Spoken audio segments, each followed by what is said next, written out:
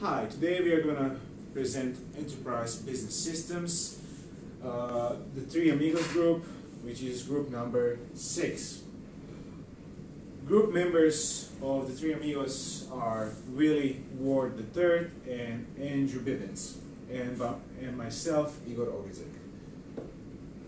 So, Enterprise Business Systems, they consist of three segments.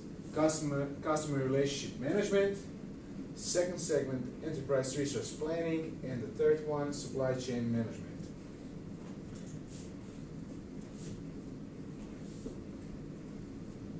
So let's, I'm going to present about ERP or enterprise resource planning. Uh, it is also called as the business backbone. So uh, first we, we would like to introduce some information about ERP, enterprise resource planning those are systems that serve uh, to integrate and automate many internal business processes and information systems within manufacturing, logistics, distribution, accounting, finance, and even human resource functions of a company. Uh, we prepared one uh, video that explains ERP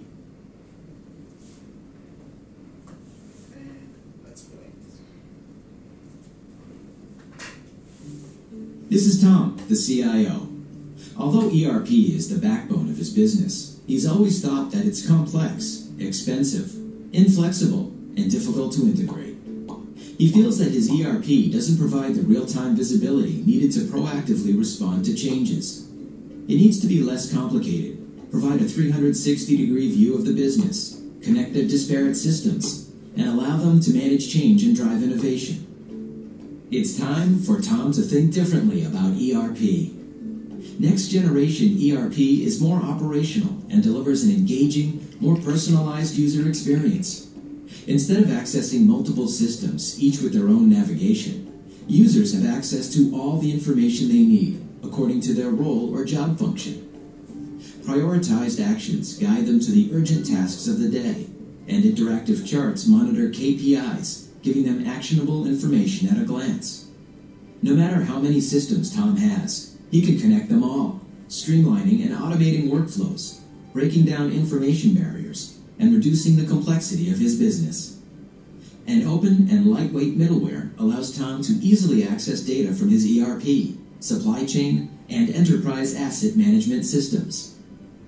As a manufacturer, this provides Tom with greater visibility so he is able to detect, act on, and manage business critical events such as machine failures, missed deliveries from suppliers, and rush orders. With an ERP solution that supports business agility, he is able to drive out costs and drive up growth. And given it was designed specifically for his industry, it's flexible enough to support his specific business processes. A system that works the way Tom's organization works, not the other way around.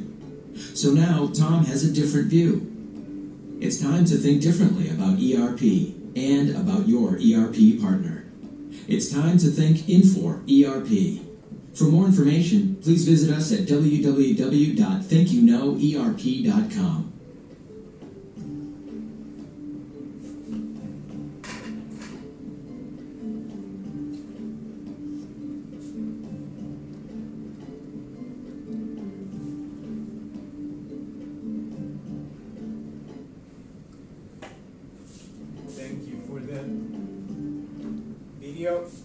should we really think differently? Well, definitely we need to think differently, but it's not really easy to implement all that stuff, which we're going to see a little bit later. What is actually ERP? Uh, enterprise resource planning is a cross-functional enterprise system that serves uh, as a framework, framework to integrate and automate many of the business processes which will at the end accomplish will be accomplished within the manufacturing, logistics, distribution, accounting, as also what I said before, finance and human resource functions of a business. Uh, to better understand ERP, we need to say about uh, its characteristics. ERP software is a family of software modules that support the business activities involved in middle back office processes. ERP also gives a company an integrated real-time view of its core business processes as we, said, uh, as we saw from that video. Uh, ERP system also track business resources and the status of commitments made by the business no matter what department has entered the data into the system. So everything is uh, connected together in one system. And also, uh, ERP system typically consists of integrated modules of manufacturing, distribution, sales, accounting, and human resource applications.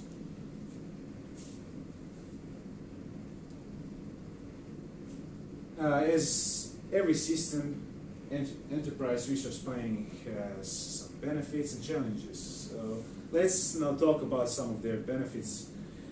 Uh, definitely one of the most important benefits is quality and efficiency. ERP creates framework for integrating and uh, integrating and improving a company's internal business processes that result in significant improvements in the quality and efficiency of customer service, production, and distribution. Uh, we also saw what in that video is that ERP is gonna decrease costs. Many companies report significant reduction uh, in tra transaction processing costs and hardware, software, and IT support staff compared to systems that they had before, which are legacy systems as we learned from our classes. Also, another thing that I really like is decision support. It is implemented also business intelligence and it provides cross-functional information on business performance. And we can easily and quickly manage and improve uh, company's ability to make better decisions in shorter time. So we are gonna improve on that part too. And another really important benefit is enterprise agility. ERP uh, can also be used in breaking down many uh, former department, department, I'm sorry, departmental and functional walls, uh, which will at the end result in more flexible uh, organizational um, and structures, managerial responsibility, and work roles. Uh, on the other hand, we have challenges. Every huge uh, huge system like this one has many of challenges. And one of the most important challenges is high cost. And uh, during implementation, it's going to be really risky uh, to implement everything.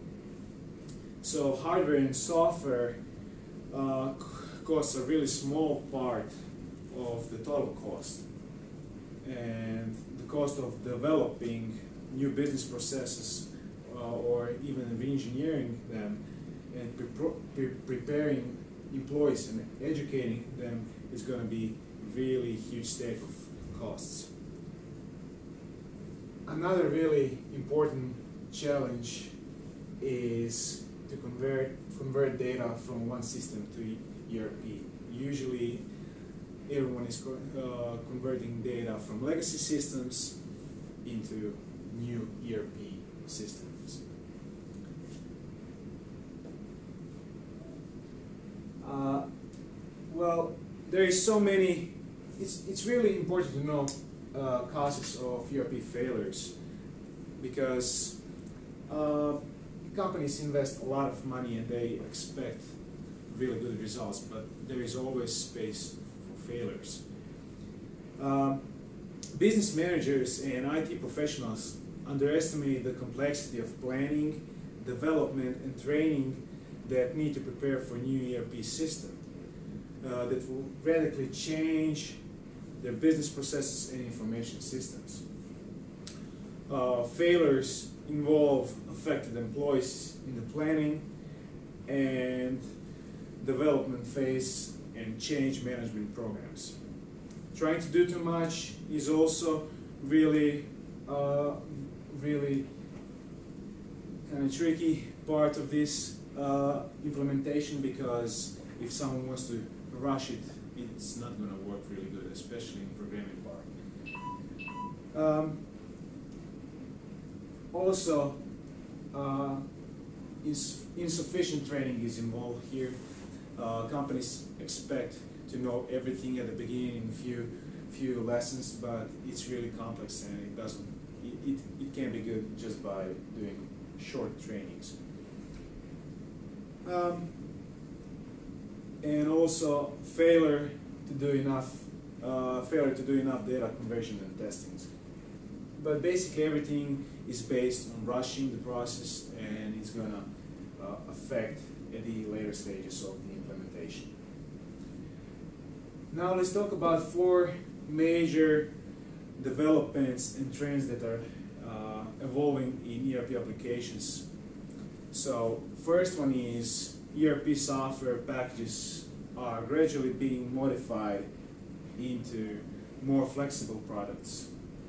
Another one is uh, that in relation to the growth of the internet and corporate intranets and extranets prom uh, prompt software companies to use internet technologies to build web interfaces and network capabilities into ERP softwares.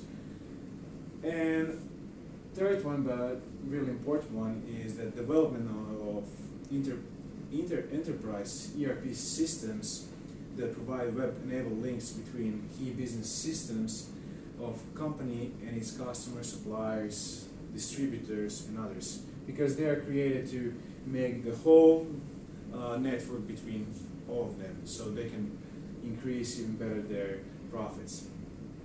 And also, uh, ERP software companies, they are trying to develop modular web-enabled software that integrates ERO, customer relationship management, supply chain management, procurement, DSS, enterprise portals, and also many others. Uh, there are five top ERP vendors. I would say the, mo the most, uh, the best, and the, the best in business is SAP. Uh, it has more than 35,000 customers in 120 countries, and it's definitely number one ERP market share leader. Uh, another one is Oracle, and it has 37,000 application customers and also Microsoft is really involved in this business and consists of over 83,000 ERP customers. Infor uh, has over 70,000 customers and but what is really important about Infor is that it, it is very complex and it's, it has very discrete manufacturing. And uh, last one, but really important one, is Epicor. In, it has more than 20,000 customers in 140 countries, and which is really unique. It works in 30 different languages. And also Epicor is really strong ERP consultant. I'm going to talk just about failures because when ERP systems are really good implemented, they're just really good benefits. So failures, one of the biggest failure in history is when UK government tried to implement uh, electronic health record. They involved, uh, they they started implementation in 2002, and they spent 18,000 $18.7 uh, billion. And at the end of the process, they just decided that it's not good implemented. The whole process went down. So they uh, started in 2011. They didn't actually need it. That was their conclusion. Well, for $18.7 billion, it's really a bad conclusion. Thank you for watching this. if you have any questions, uh, go to our webpage and you can send us an email.